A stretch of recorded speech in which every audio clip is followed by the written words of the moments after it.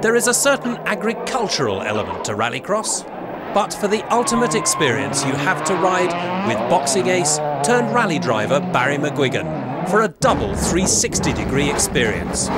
Everything seems okay so far. That is, until we get to the corner.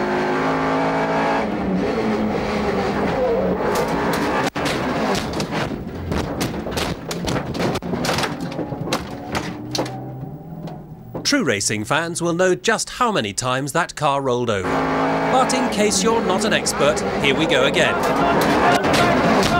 Oh dear, oh dear! That's a terrific action there. Barry McGuigan. The camera at least still works inside the car. And what a sad sight. A very, very badly damaged car there for Barry McGuigan. Well, I have to thank heavens Barry McGuigan isn't badly damaged. He's just seen a lot of stars, and it won't be the first time in his life he's seen stars, but he is very shaken up.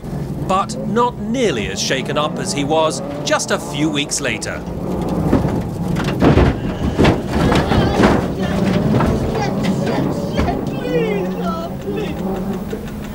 Oh no, please! Oh no, please! Oh shit! You alright, man? I'm fine. So that's Rallycross. Barry McGuigan, cars and all.